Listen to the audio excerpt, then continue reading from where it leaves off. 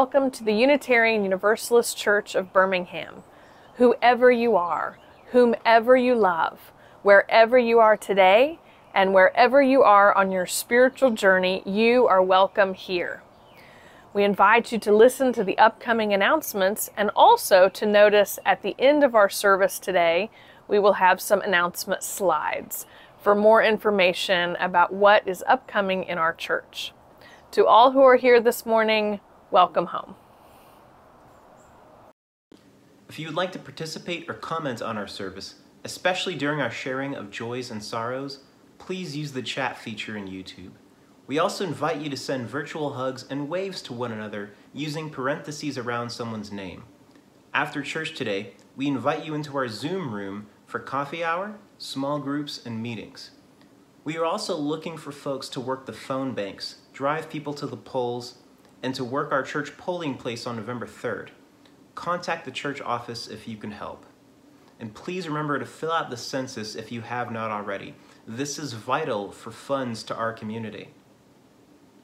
And please sign our connection card if you are not receiving our church emails so we can keep you in the loop on events and activities.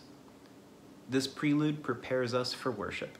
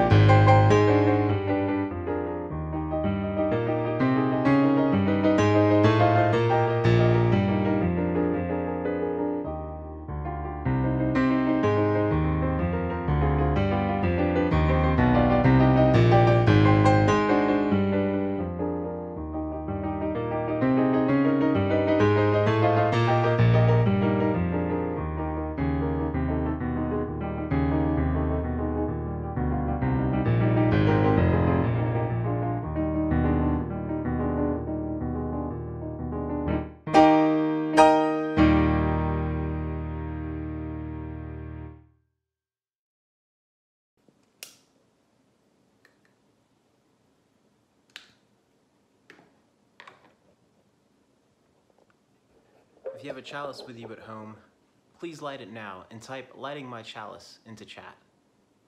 We light this chalice to find inner peace, love for each other, and faith in ourselves. Also, to be welcoming to whoever we meet and kind to all living creatures. So gather around this light of hope as we share this time together. Please join together in singing our opening hymn.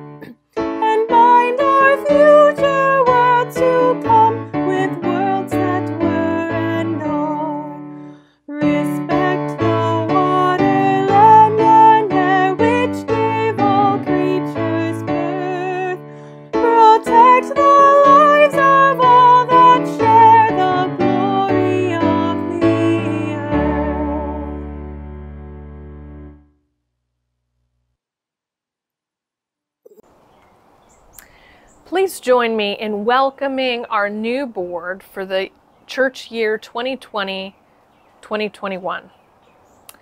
Our board is responsible for the liabilities of our church, for its building and grounds, and for keeping fiduciary responsibility apparent. As we commission them to do this important work, I invite you to reach out to them and to thank them for their service as we start this new board year. Welcome to our new board. Uh, beloved congregation, this is your new board, the 2021 Board of Trustees for our church. We would like to take a moment to let each of them introduce themselves, and then we will have a short installation ceremony.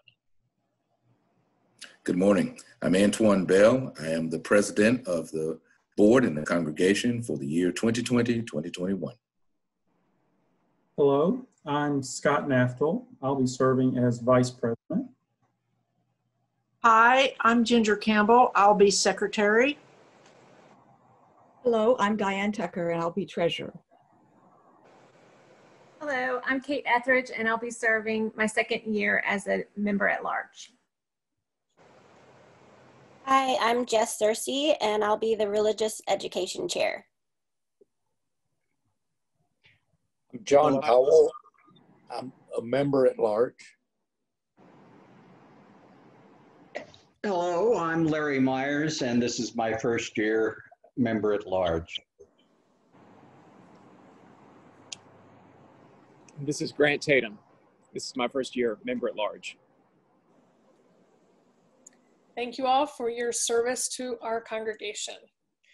In a free religious community, to serve is the high ex expression of our commitment and love. To be asked to lead is the highest honor. This morning, the members of the Unitarian Universalist Church of Birmingham, Alabama have chosen you to lead us in this coming year, and you stand before us now. The relationship between a congregation and board is one of deep respect and mutual regard. The congregation has asked them to take on the holy work of discernment and guidance. They need you to support them in their work, share ideas and concerns in love, and to offer them trust as they fulfill their office faithfully. The work of the church is the work of the people. It is the work of building the world of which we dream. It may require some time spent poring over budget sheets hours spent in meetings where small details are hashed out. It may manifest in shared laughter or outright frustration from time to time, but always it is sacred, for it is in pursuit of our beloved community. As a symbol that the work is always shared, we will engage in the ritual that always accompanies the installation of anyone to our UU ministry. Service is an act of faith. Service done faithfully in love is the work of justice and community building. This is what you have asked these people before you this morning, congregation, that they serve you faithfully and well. To do this, they need your trust and support. I ask now of the members of our church Will you offer your love and trust to your board, responding when they seek your input, showing up when they tell you that work needs to be shared, and listening carefully when they speak of the life of the church? If so, please respond, we will. To the members of the board, will you be diligent and faithful in your work, bringing your best selves and practicing self care and open heartedness, tending with love the details of the work, and always keeping the goal of beloved community in front of you as you serve? If so, please respond with, we will. We will. We will. May the spirit of love guide you in this coming year. May a spirit of joy infuse the work you engage, and may your service bless the world. Amen and blessed be. Amen. Good morning, everyone. I am truly honored to have been selected as your new board president. I am humbled yet strengthened by all of the encouragement and support as I take on this new responsibility. I am proud to be making history at our church. However, I'm here to serve our church community to the best of my ability working alongside our board and Reverend Julie in the best interest of our congregation. Special thanks to Lee Schaefer, who has served as board president over the last two plus years. Lee has worked tirelessly, continuing to lay the groundwork for our church as we head into the future. She has truly left some big shoes to fill. I'm excited about the opportunity to work with our new board. We will be looking into the future while continuing to honor the work of icons past thinking outside of the box and taking some bold steps to forge a new path for generations to come. We are living in some truly dark times, very uncertain times. It is my hope that we will serve as a beacon of promise during this tough period in our country. Together, let's enjoy our fellowship as members of a loving church family. We will continue to provide opportunities to gather, whether it be in person or virtually. I encourage you to volunteer and help when you can. Create some memories, get to know your fellow members, and most of all, let's have some fun. Lastly, the UUCB board prides itself with working in the best interest of the congregation. Along those lines, transparency is important. Therefore, we will make minutes of the board meetings available for review following each session. Also, if you would like to attend a board meeting, you may do so. With the exception of executive sessions, all board meetings are open to church members. Well, that's it for now. Enjoy today's service, and I look forward to seeing you in person soon. Our church is supported by those who call our church home and by those who support our church's efforts to change our world for the better.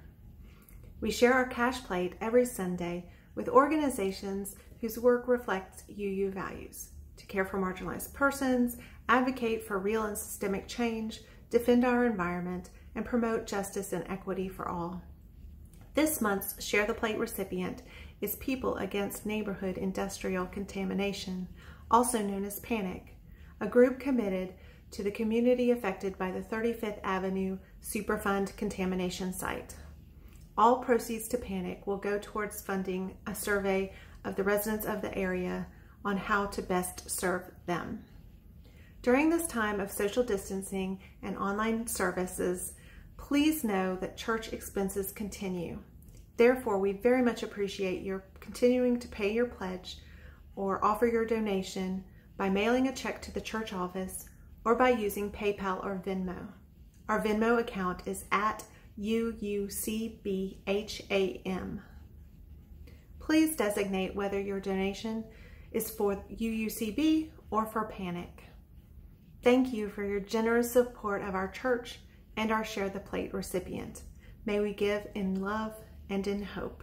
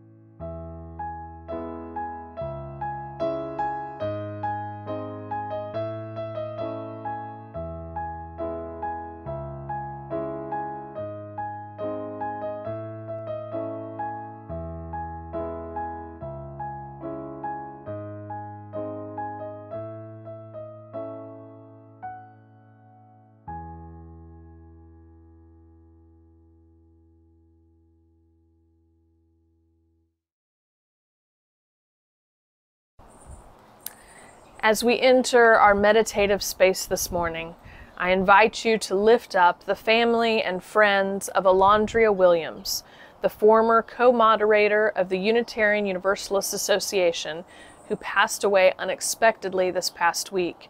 Please keep Elandria's family and friends in your hearts this week. We also continue to lift up the situation in Louisville as we continue to seek justice for Breonna Taylor for all those who feel unworthy or underappreciated by the message this injustice sends throughout our country. We see you. You are valuable and worthy of safety. You matter. We continue to lift up this situation as it spurs us into action in the rest of our lives using the chat feature in YouTube, by speaking it aloud, or by hearing it on your heart, please give voice to what is on your heart today.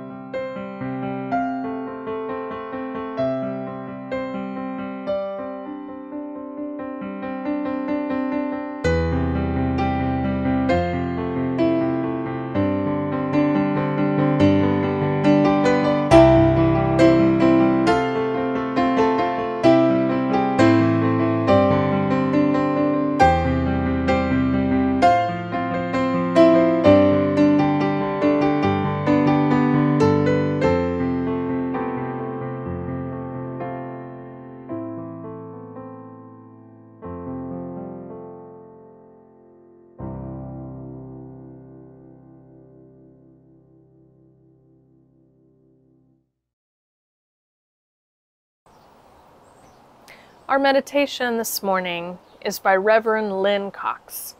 Please join me in hearing this spoken meditation followed by a moment of silence.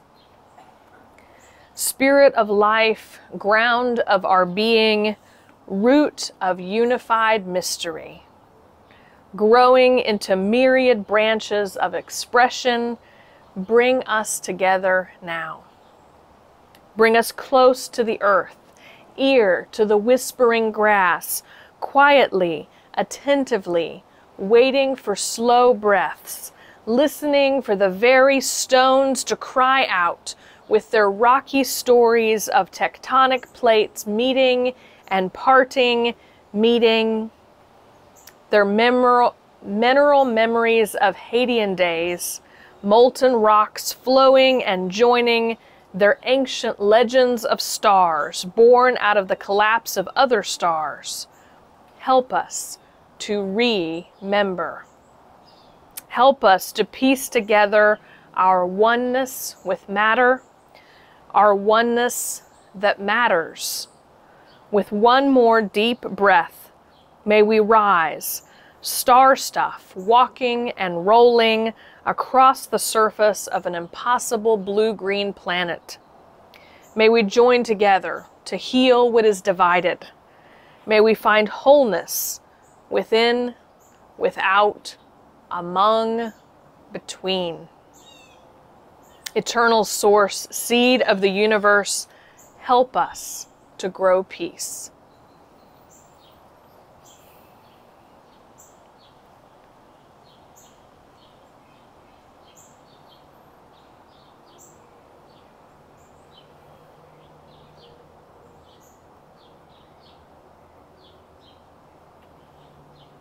Blessed be.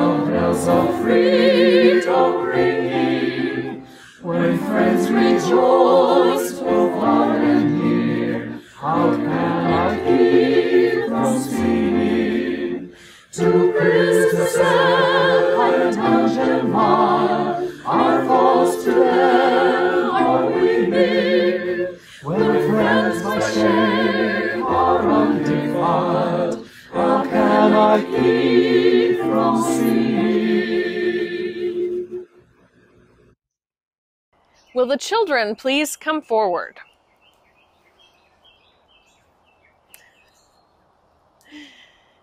Good morning, everyone. Today I have a story for you about the tale of the three peppers.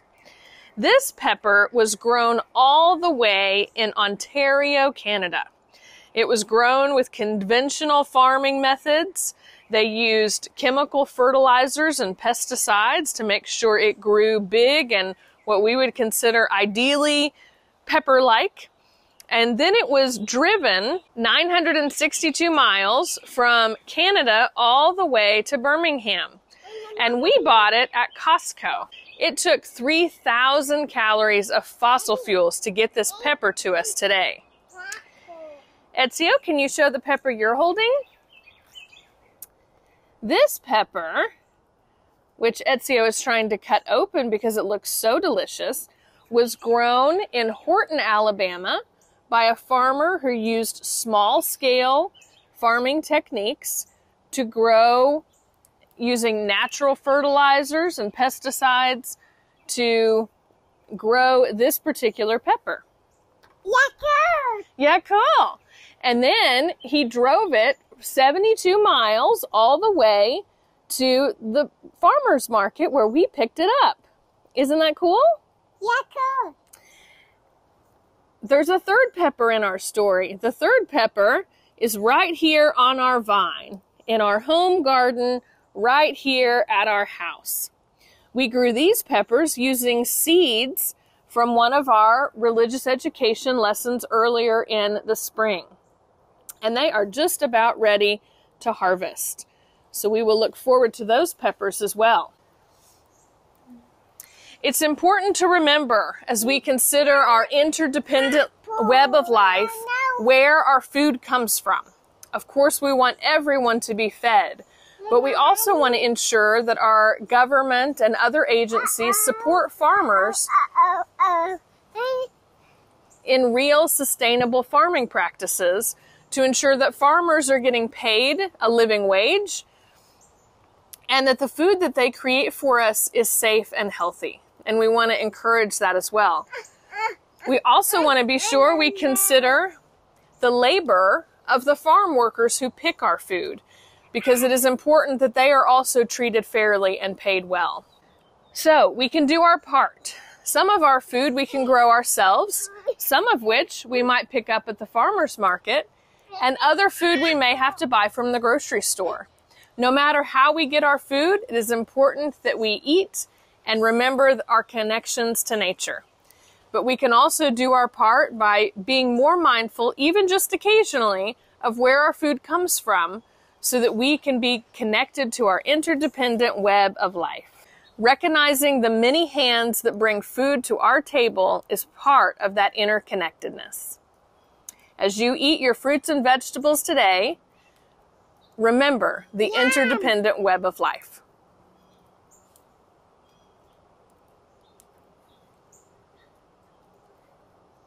Let us sing our song together.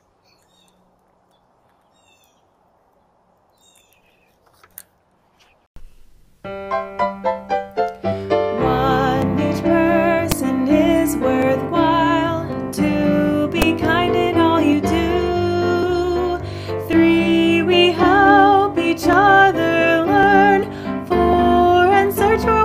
true.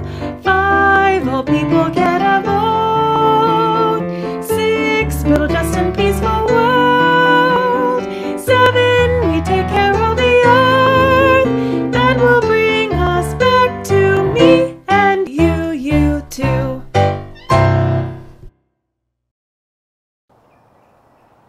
For the past six weeks, we have explored how our Unitarian Universalist principles can be lived beyond the walls of our church. In those six weeks, we have experienced communal grief, communal rage, communal worry, as so much of our beloved world seems to be falling apart around us. In these six weeks, we have also had individual and family grief, rage, and worry, and also individual family celebrations, joy, and beauty. We, as UUs, make time for all of these emotions.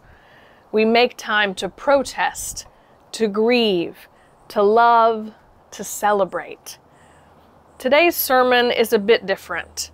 We're going to take a moment to look within, to affirm the goodness of our earth and its creatures, to celebrate the beauty all around us. I invite you to sit comfortably to hear these stories. Put your feet upon the earth, on solid ground, to know that we draw wisdom from the earth. Open your hands toward the sky and rest them on your lap. Imagine the sky above you, the beauty and majesty of our blue sky.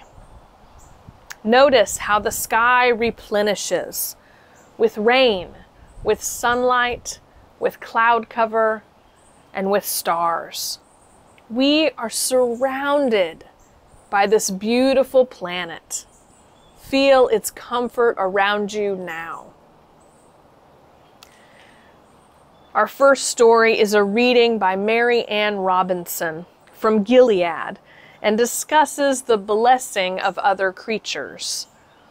As always, I offer an alternative definition of blessing for you according to Webster's. A blessing is a beneficial thing for which one is grateful, something that brings well being.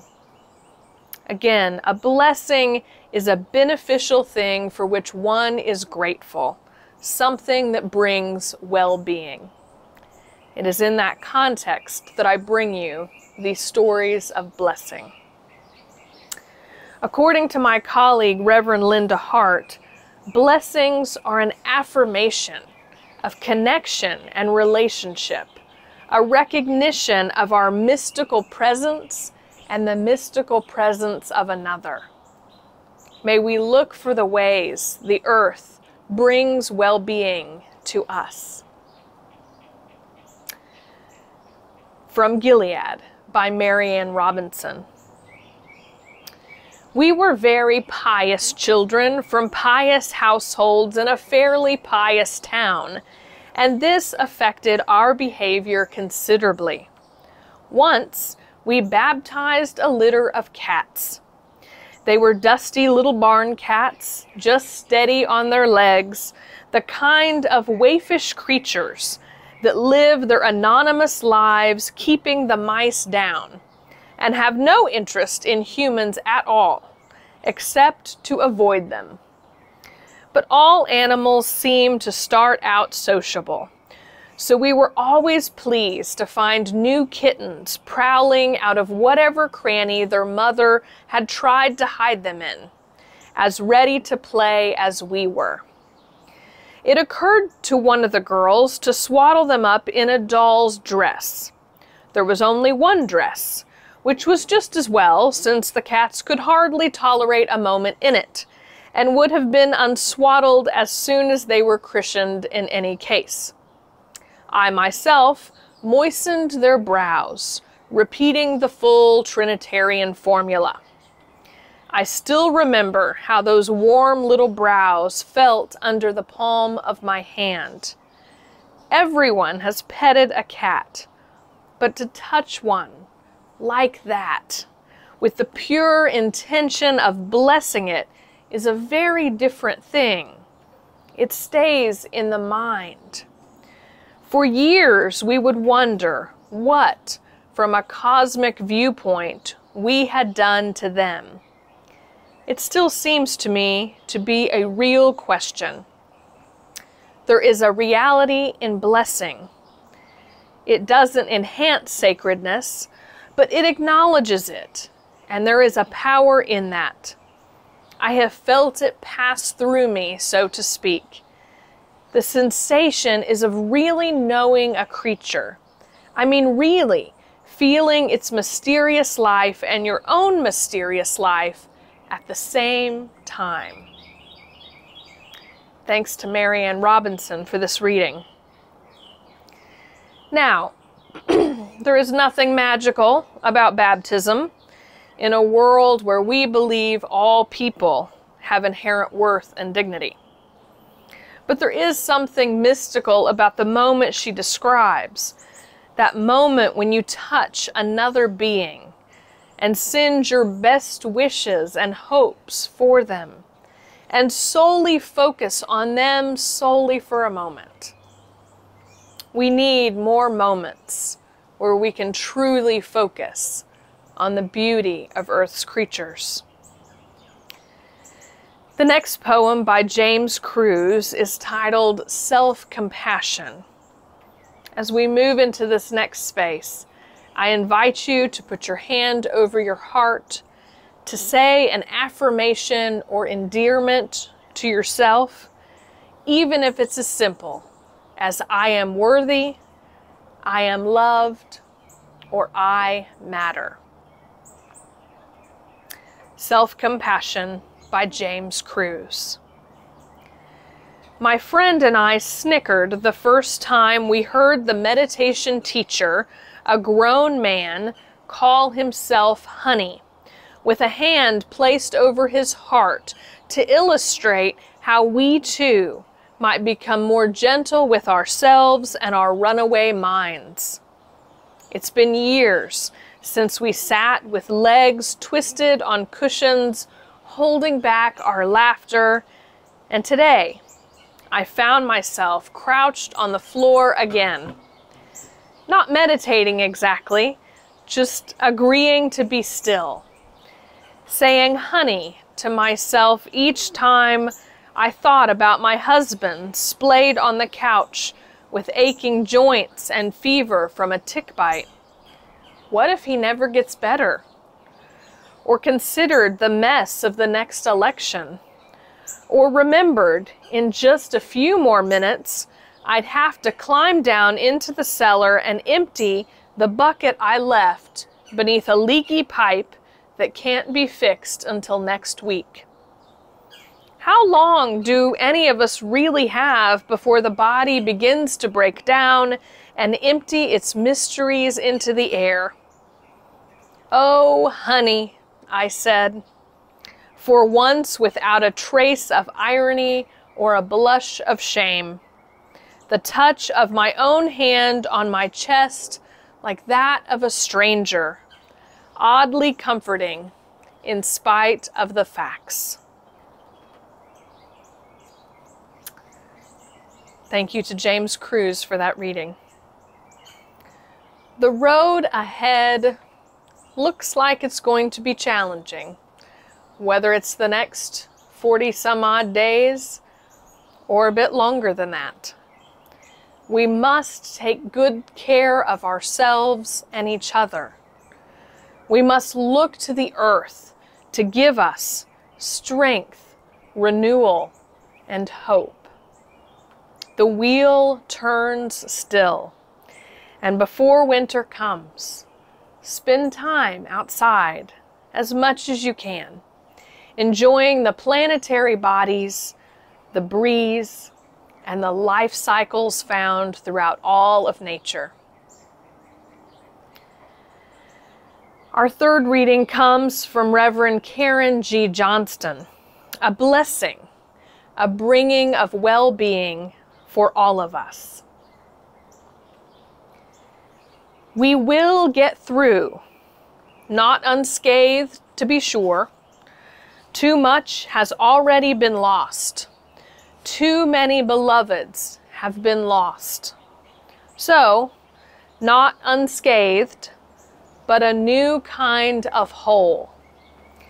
The kind that only emerges from the going through it from the wrestling with it, from the demanding something in exchange for what we lose, making clear what we claim, making clear what we demand in turn, is not personal gain or revenge, but a blessing, shaped by our loves and our losses, our sorrows and our joys our failures, and our triumphs.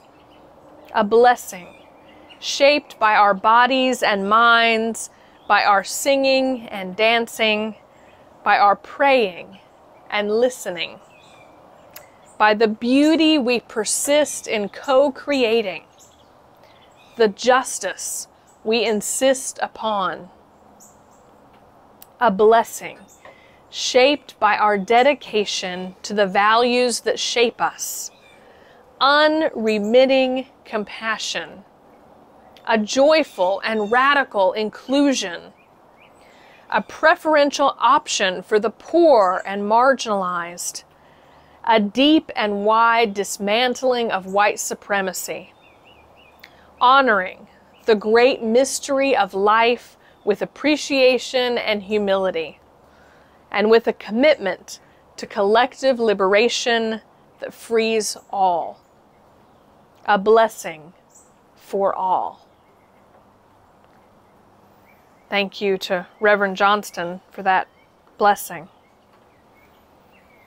As we go forth from this place today, let us remember to respect and connect to the interdependent web of life Enjoy a moment to feel that connection with the submissions of our church folk who remind us of the many ways we can respect nature and each other.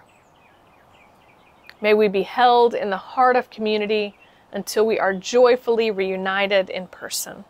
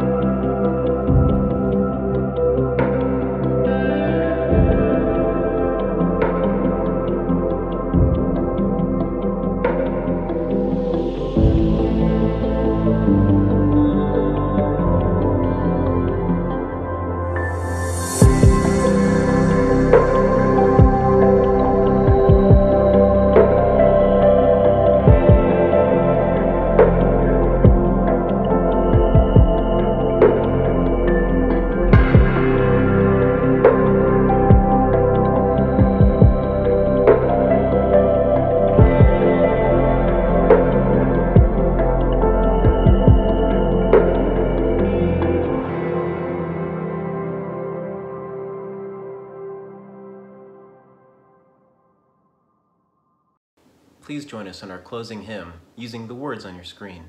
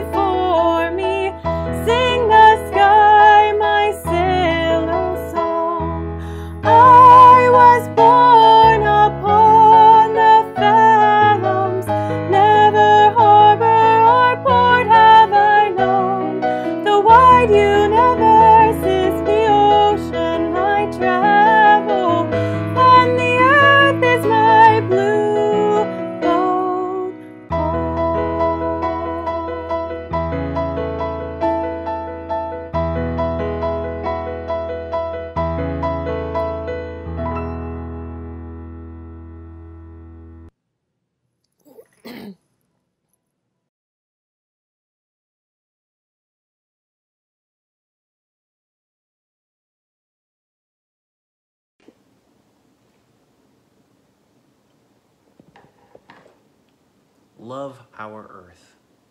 Take action to consume less, use less energy, respect water, and be a cooperative, collaborative, and creative community. Like the moss and the mushrooms, our children's lives depend on us.